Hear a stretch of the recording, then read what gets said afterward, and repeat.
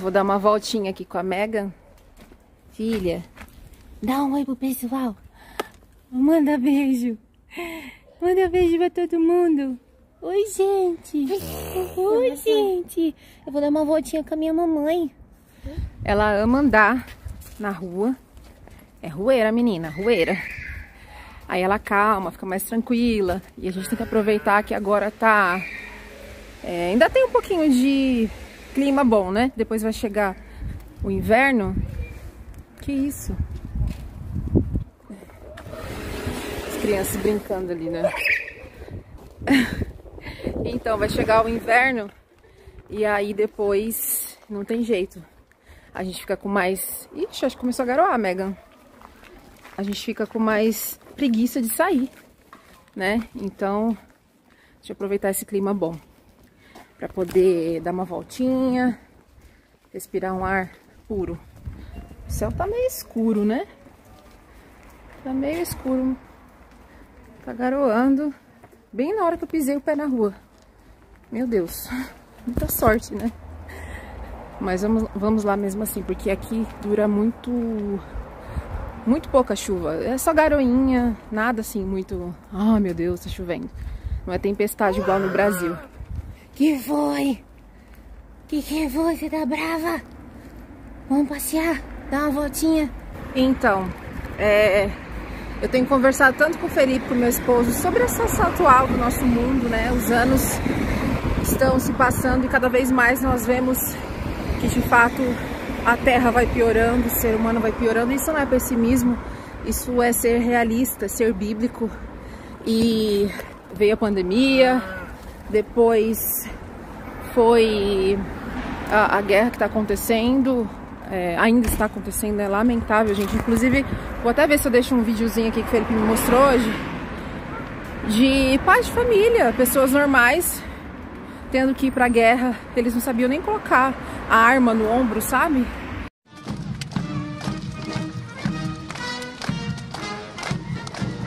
Ребят, как настроение? Великолепное.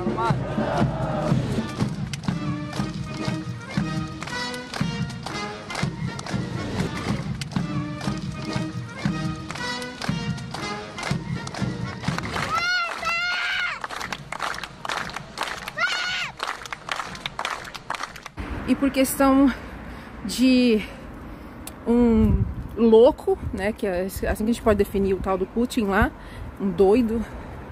Ele coloca à frente pessoas inocentes, cidadãos que não sabem lutar, não sabem guerrear por puro poder, por pura, pura ganância, pura maldade, perversidade. Que terrível. Eu vi esse videozinho que ele mostrou, eu fiquei muito triste. Pensando que são pais de família, são pessoas que estão indo para morrer, eles estão indo não sabem se voltam para casa, estão deixando familiares, filhos, esposa. Ai, gente, que triste. Então a gente olha a situação do mundo, não tem como a gente não lembrar da Bíblia, né, que nos alerta a respeito do fim dos tempos, dos sinais do fim, da volta de Jesus. E quando geralmente nós comentamos isso com alguns cristãos negacionistas, eles falam, ah, mas a maldade sempre houve, o mundo sempre, sempre esteve dessa forma.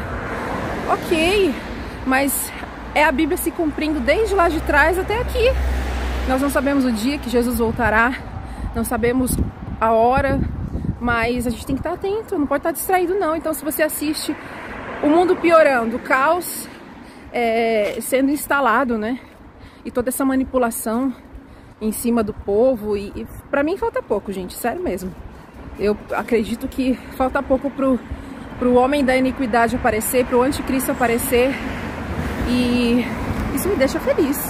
Me deixa feliz porque nós estamos mais perto do céu. Quanto mais o mundo piora, é sinal de que Jesus está às portas mesmo. Por isso que eu falo tanto sobre arrependimento, tanto sobre pecado. Tem gente que se incomoda. Ai, quase que eu caio aqui. Meu Deus. Tem gente que se incomoda e eu não tenho preocupação de ser pregadora de uma mensagem só, talvez para alguns, né? A Dani só fala de arrependimento, tem outra coisa para falar, não tem a palavra de vitória, palavra de bênção, de conquistas que eu vou vencer.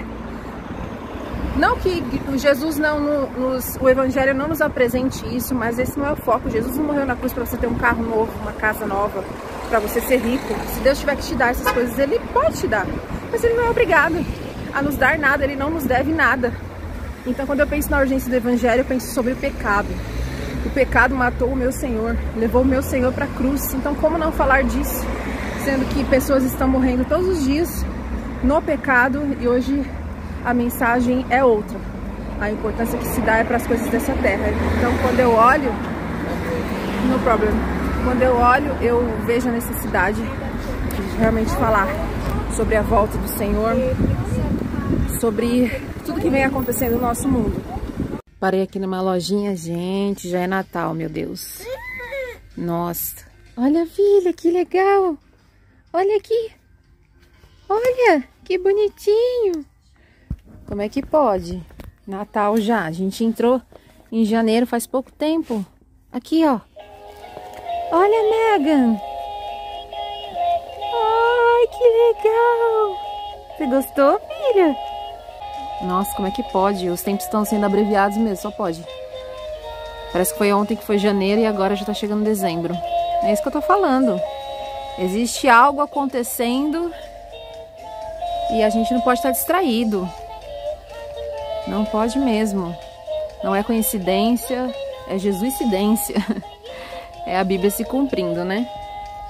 E aqui nessa lojinha, ao mesmo tempo que tem as coisinhas de Natal, tem aqui o bendito Halloween, pra não dizer outra coisa, né? Bendito, de bendito não tem nada. Os bichos feios, credo. E aqui pra eles é tão normal é, comemorar o Halloween. Ó, coisa horrorosa.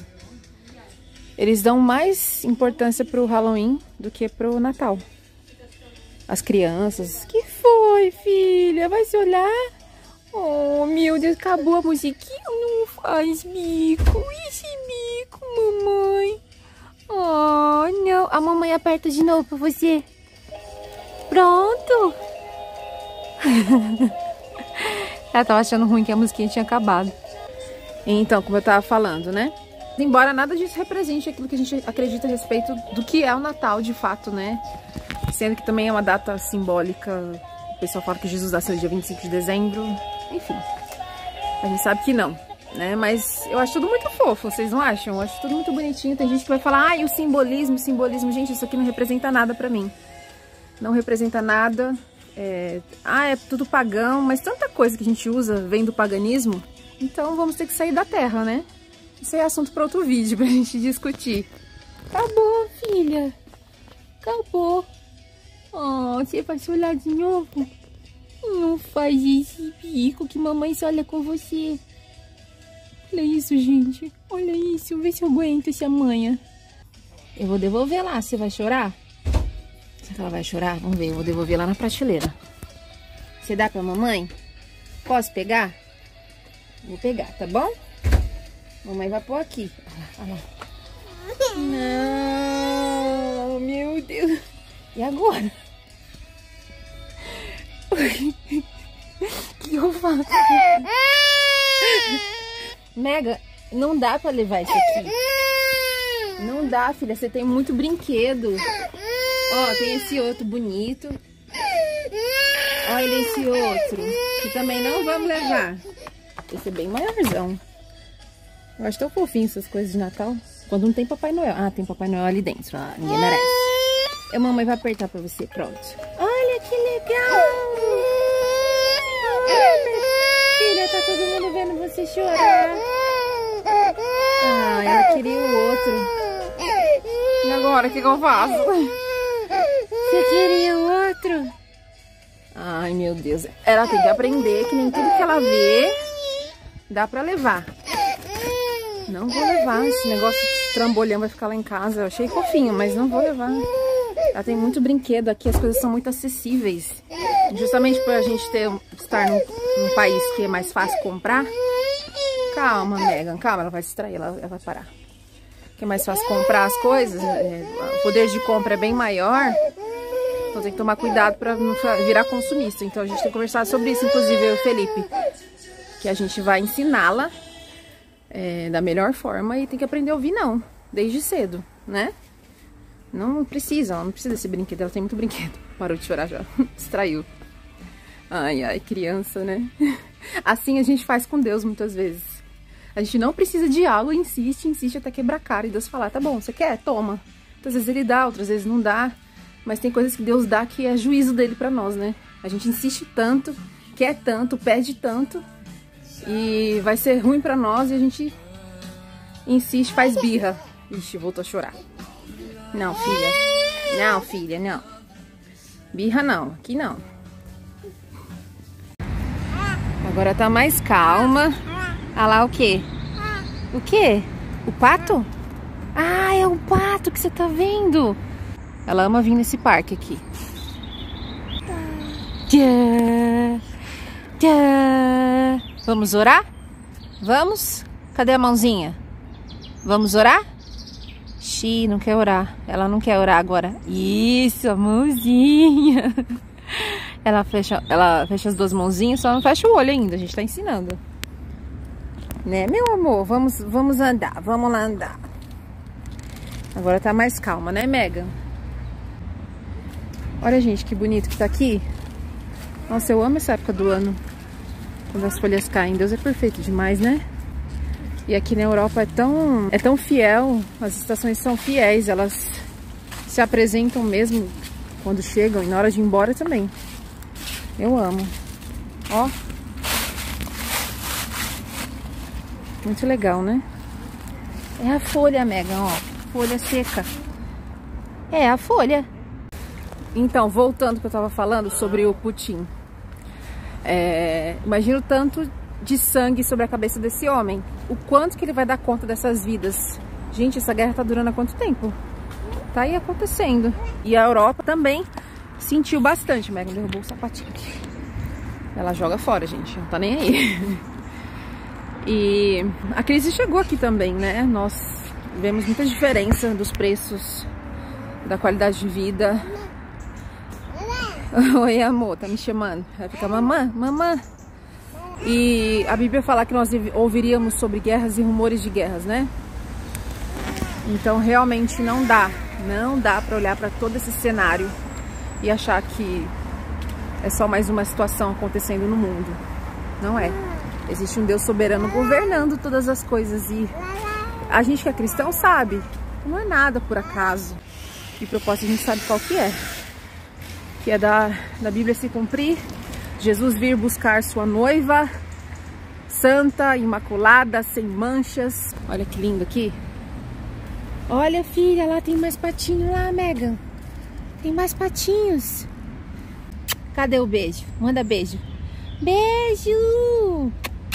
Tá séria hoje? Ela é toda risonha, toda falante. Isso, manda beijo, meu amor. Manda beijo assim, ó. Hum,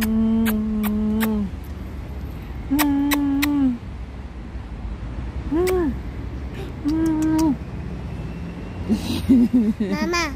Mamã. Mamã. Fala, papai. Chama o papai. Papai. Papai tá onde? Tá no trabalho, papai, né? Papai, cadê você, papai? Mamã. Antes ela falava só papai. Aí passou a falar mamãe e não para mais. E eu fico toda cheia, né? Claro. Fico toda orgulhosa. Vamos ver lá o pato, Megan. Olha lá o pato. Olha o patinho, filha. Que bonitinho. Será que ele vai vir aqui? Porque tá, esses patos daqui estão acostumados a o povo jogar comida e eles vêm correndo. Só que dá uma dó, né? E o povo dá pão pra eles, gente. Pato não é pra comer pão, pelo amor de Deus. Pão de forma ainda. Olha lá, filho, o pato. Olha lá o pato. É o pato, Megan. Oh, no, it's okay. Thank you so much. Thank you, no problem. Ah, eles são tão educados aqui pra... Quando a gente tá tirando foto ou fazendo algum, algum vídeo, eles se oferecem pra tirar. O que você tá olhando pra mim? O que, que você tá olhando? É, fala. Fala a sua língua, seu dialeto. Ah, fala. É o pato aqui, ó. Tá bem perto, Meg. Ele veio, veio comer. Não tem comida pra você, patinho. Eu acho uma dó. Você tem que comer comida natural aí da, da, da sua água aí, do, do seu habitat. Delícia!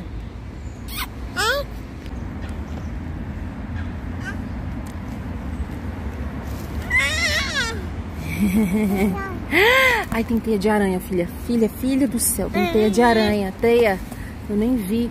Olha lá o sapato. Olha lá, vai cair lá na água o sapato. Eita, meu Deus. Gente, aqui tem aranha pra tudo quanto é lado. Eu não gosto, não suporto aranha. Ó, vocês dá pra ver aqui, aqui. Cadê? Não dá pra ver não, né? Credo, Mega. Tem teia de aranha aqui, filha. Ó. Uhum, que nojo. Não gosto. Olha lá, o pato veio comer. Querido, eu não tenho comida pra você. Você tem que comer sua comida, tá bom? Seu alimento. Não é pão de forma, só pra te avisar, ó. Você, outro também. Olha lá, todo mundo chegando. Gente, eu não tenho. Não, eu tenho um tênis aqui, ó, da minha filha. Você quer o tênis? Ai, teia de aranha.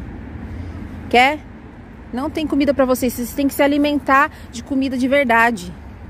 Parar de ficar comendo essas porcaria, tá bom? Ficar aqui, ó, na, na beira do, do lago aqui do rio esperando comida pão de forma, ver se pode. Pro meu povo que dá, né? Não era pra dar. Tchau, vão com Deus. Isso aí. Tanta coisa boa que Deus deixou na terra aí pra vocês. Vocês ficam esperando comida industrializada. Vê se pode. Vocês vão passar mal desse jeito, adquirir uma doença. Arrependei-vos.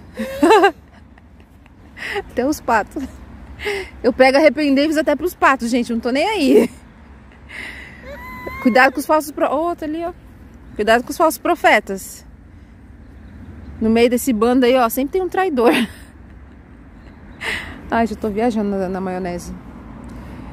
que foi, filha? Vamos embora pra casa? Vamos? Vamos embora? Quando eu penso na urgência do evangelho, eu penso arrependei-vos, pois o reino dos céus está próximo. É isso que eu penso. Por isso que eu continuo falando, falo de falsos profetas, falo do contexto que eu vim, né, que é do gospel. Não tem como anular tudo isso da minha vida. Eu vim desse meio, então vocês vão sempre me ouvir falar disso.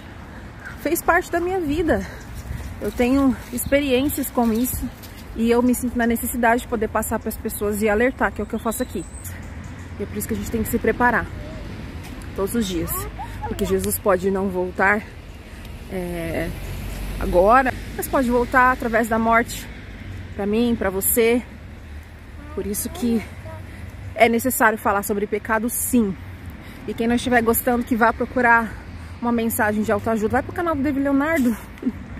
Vai pro canal do Thiago Brunet. Vai assistir os pregadores aí que vocês estão acostumados, gente. Eu aqui falando, falando. E novamente, Dona Megan, o que, que ela fez? Jogou o sapato no meio da rua e a gente vai ter que procurar. Toda vez é a mesma coisa, gente. Ai, meu Deus, lá vai eu voltar tudo isso. Filha, você não tem vergonha? Você não tem vergonha de jogar seu, seu sapatinho fora? Nossa! Ai, Megan, onde você jogou, Megan? Vamos ter que voltar tudo isso agora, Megan. Cadê o sapato? Cadê o tênis? Esses dias eu tava mostrando lá no meu Insta, no meu Instagram. Ela fez isso. Toda vez ela faz isso. Eu tô desistindo, gente. Vou deixar ela sem sapato. Vai virar agora índio. Não vai usar sapato, não. Não tem como não tem, colar no pé dela se eu passar. Super bonder. Dona moça. Vamos lá procurar o sapato, filha. De novo. Quem me assistiu lá no Instagram deve ter visto já eu na saga procurando sapato. Meia da Megan. Foi a meia. Os dias passados foi a meia. Aí agora eu tô tentando colocar sapato nela, que ela não aceita muito. Megan, cadê seu sapato, filha? Ah, acho que tá em cima do banco. Se for, tô vendo daqui.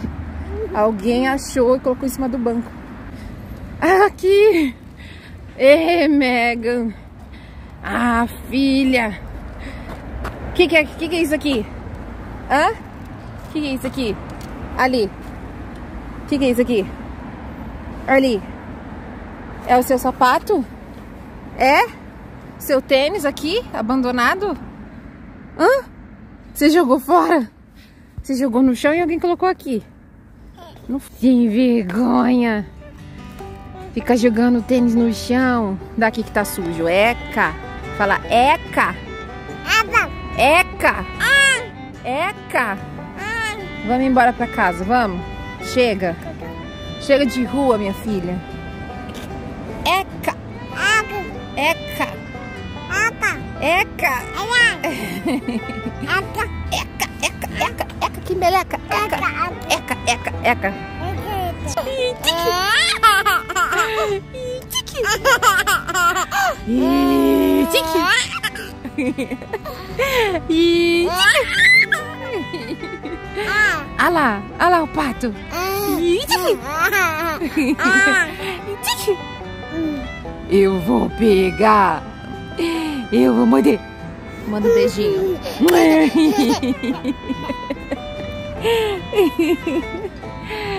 Deliciosa.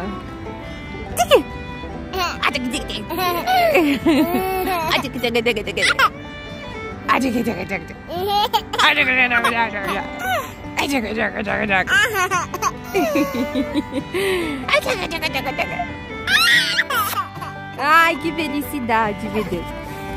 Vamos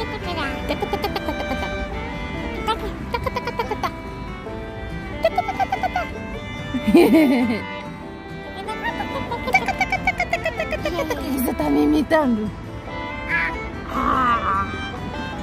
Ah.